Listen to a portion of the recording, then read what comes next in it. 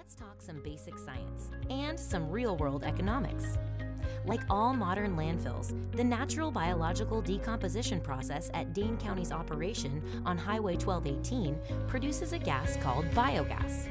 Biogas is about 50% methane. The energy source known as natural gas is 98% methane. So, biogas possesses the potential to be used as an energy source once impurities are removed. Most landfills just burn off their biogas, which is required by law. But for the past 23 years, the methane in Dane County's biogas has been harnessed to generate renewable electricity, which in turn has been sold to local utilities. As a result, this process has provided enough renewable electricity to power 4,000 Dane County homes 24 hours a day, 7 days a week, 365 days a year. While this project has served us well, we now have an opportunity to further our economic and environmental gains while ensuring that our own energy needs continue to be met in a responsible, sustainable way. This new initiative is the first in the nation, a $28 million project that we're happy to share with you today. Obviously, there are countless technical and economic aspects to a plan of this scope, but for the sake of discussion, let's look at the four basic components. 1. We will build an on-site facility, which will enable us to refine all of our biogas, 50% methane, into pipeline-grade natural gas, 98% methane. 2. We will convert our refined gas to renewable natural gas, a highly coveted vehicle fuel because of its minimal environmental impact and maximum efficiency.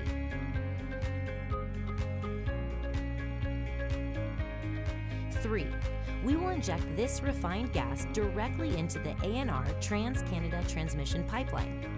Dane County will be the only renewable energy producer from Wisconsin to put gas into this pipeline. Our proximity to this energy superhighway is a major plus. It runs directly under our landfill property.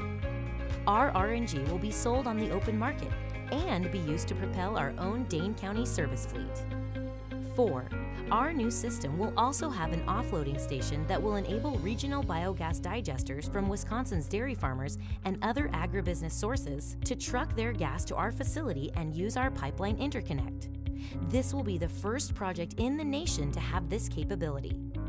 This has the potential to significantly improve the economics of digesters. This could lead to more area digesters, which will help lead to cleaner lakes.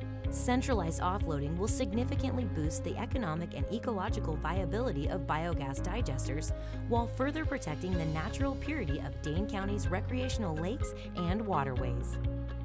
The economic impact of our plan is significant. Renewable fuels are incentivized by both federal and state programs.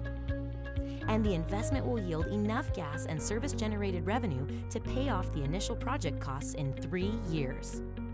After that, the operation will generate several million dollars each year, which will go directly to Dane County's general fund. This would otherwise be funded by taxpayer revenues. Not only will this project create jobs and keep skilled workers in Wisconsin, the RNG itself will become a continual resource that provides energy independence while lessening our dependence on foreign sources of fuel. Considering the fact that $12 billion leave Wisconsin for fuel every year, the impact of our keeping those dollars here is fairly evident. The environmental impact is even more profound.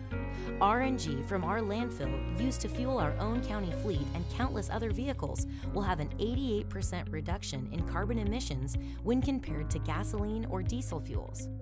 This will help improve air quality here in Dane County. In its first 12 months of operation, now slated to start in 2019, we will displace almost 3 million gallons of gasoline and diesel fuel per year with clean, renewable fuel from landfill biogas. As our landfill operations grow, this will increase to more than 4 million gallons of renewable fuel per year. To provide some perspective, that is the equivalent of removing 7,500 cars from the road every single year.